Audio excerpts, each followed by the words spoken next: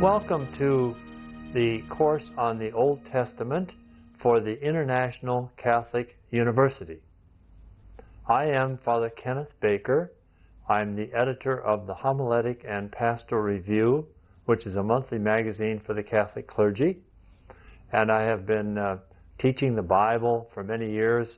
And a few years ago turned out a book called Inside the Bible, going through all the books of the Old Testament and the New Testament.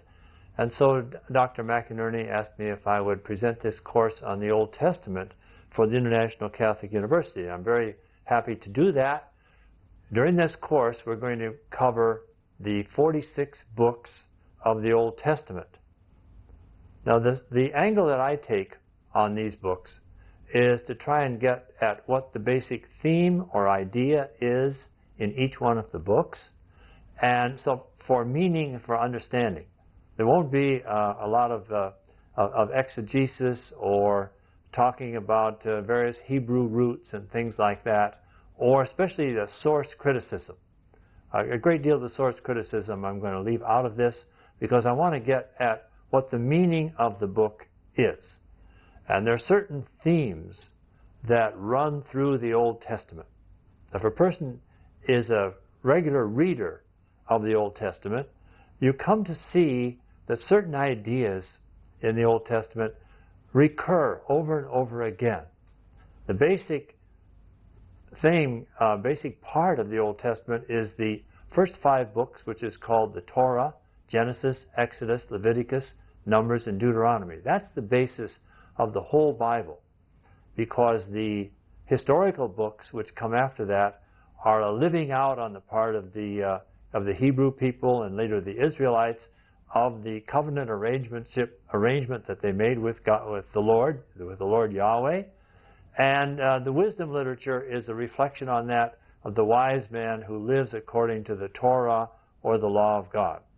So some of the themes that we're going to touch on in this course is the fact of that God is the creator of the heavens and the earth, and He is the master of human history.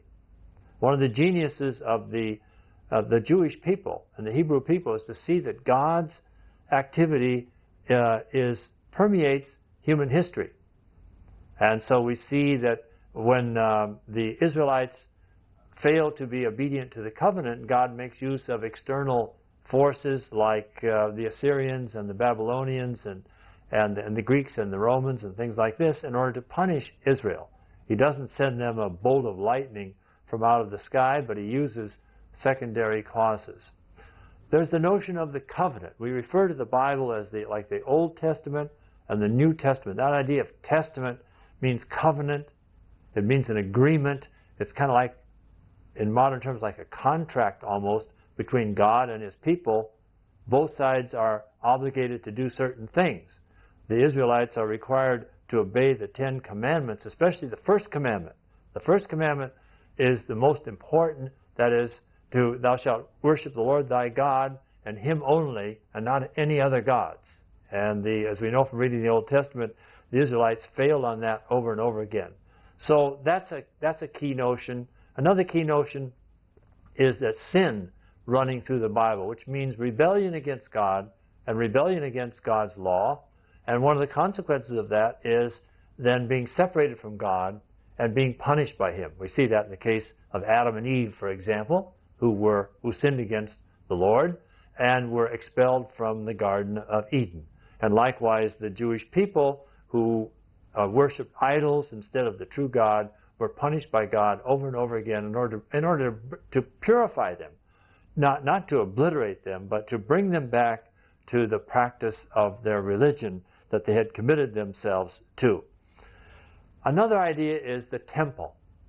You might not be aware of the fact of the importance of the temple, but the temple runs through most of the Old Testament. And the idea of the temple is because that's God's presence with his people.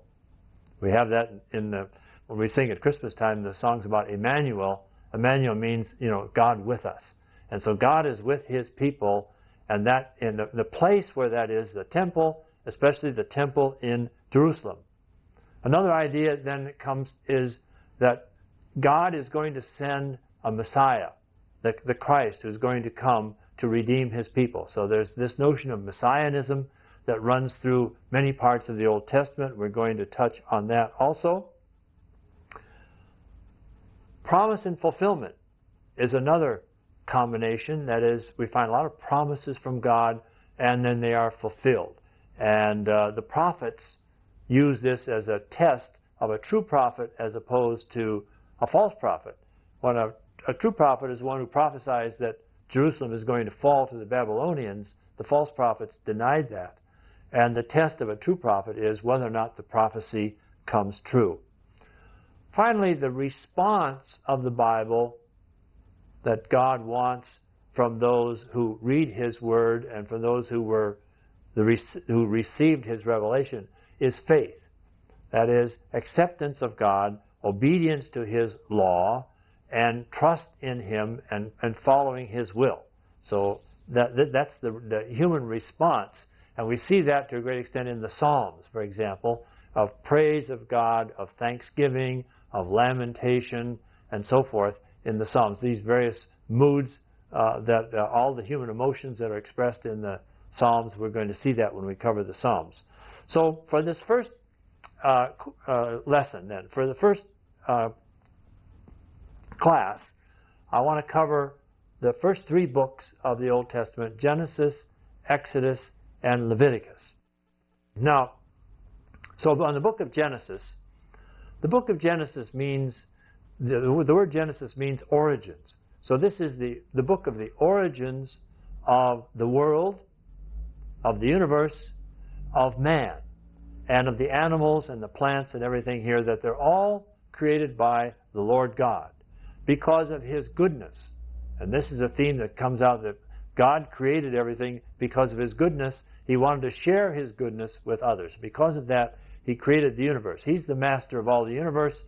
And in the in the Bible, the prophets especially, we see over and over again that the idols of the pagans are not gods. They say they have eyes but they can't see, they have ears but they can't hear, they have feet and they can't walk, and so forth, because they are creations of man.